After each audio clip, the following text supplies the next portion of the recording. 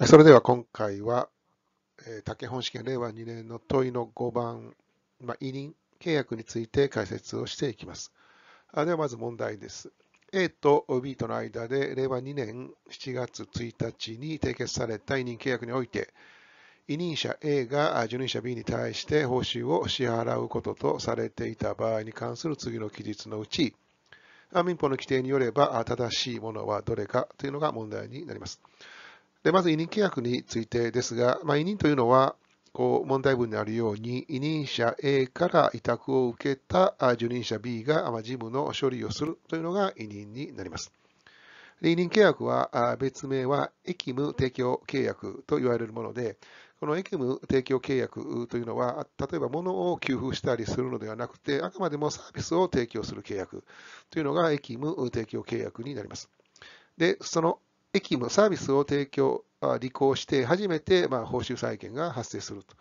いうのが、この役務提供契約になります。で、この委任を含めて、請負とか雇用契約も同じ役務提供契約に入りますので、民法改正によって委任とか請負、雇用の規定は整合性を持った規定に改正されています。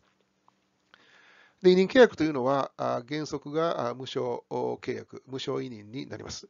特約があって初めて、ま、報酬が請求できるというのが委任契約になります。そしてその報酬が発生した場合に、報酬の支払い時期については、後払いが原則になります。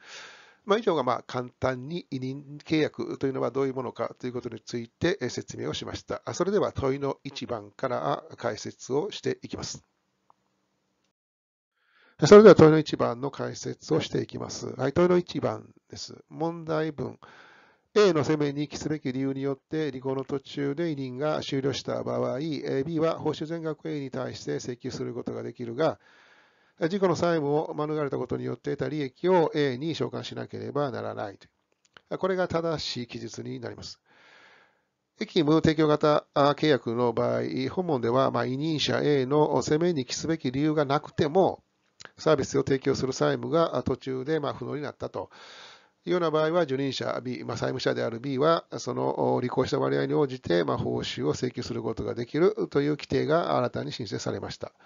これが民法の648条の3になります。で、まあ、この前提として、それでは、え債権者である委任者 A の責任で委任契約がま途中で履行不能になったと。サービスが履行できなくなった場合は、これは危険負担の条文、危険負担の問題として民法536条2項により、まあ、報酬全額を請求することができるという規定になります。で、問いの2番。受任者 B は契約の本旨に従い、事故の財産に対するのと同一の注意を持って委任事務を処理しなければならないと。これは間違った記述になります。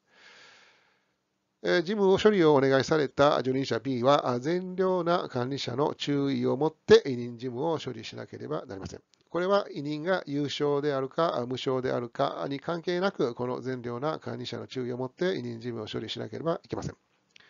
この善良な管理者の注意を持ってというのはですね、全館注意義務と言われているもので、その職業や地位に応じて一般的に要求される注意義務になります。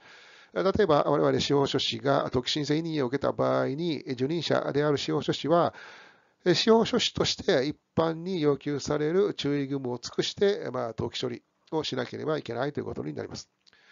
で問いにある事故の財産に対するのと同一の注意というのがですね、これは単なる自分の能力に応じた注意義務になります。前回注意義務に比べてはるかに軽い注意義務になります。民法に帰宅という制度がありますが、これは物の保管をお願いする契約なんですけども、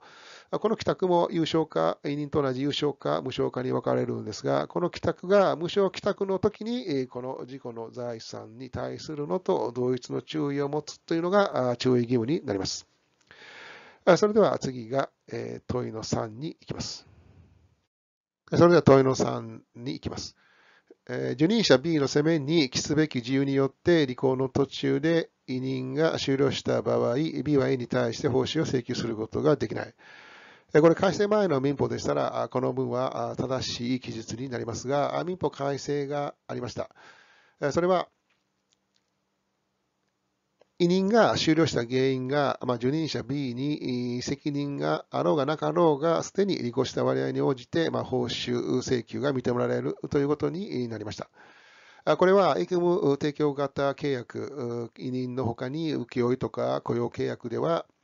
まあ、債務者の責任の有無に関係なく、債務を途中で履行することができなかった場合には、履行の割合に応じて、まあ、報酬請求が認められるということになります。